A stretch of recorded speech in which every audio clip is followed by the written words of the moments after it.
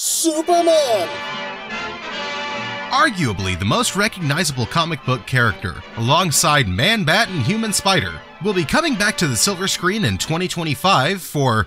Wait, no, that can't be right. His 13th theatrical appearance? But this time with writer director and famed Twitter comedian James Gunn at the helm. With the writer of the Guardians of the Galaxy trilogy, the superior version of the Suicide Squad, and of course the greatest superhero film of all time, Scooby Doo 2 Monsters Unleashed. How could this not be an Oscar contender?